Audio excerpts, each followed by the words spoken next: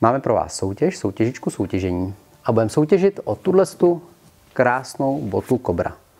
No nevím, jestli teda zrovna o tuhle, protože tahle je obří, ale o botu bílou Kobra ve vaší velikosti. A stačí do komentářů napsat, kolik si myslíte, že Jirka Kárný alias Karas udělá bodů v superfinále. A nejpřesně, nejpřesnější typ, nebo z nejpřesnějších typů, budeme losovat v příštím týdnu. Díky za sledování a kafičko. Thank you.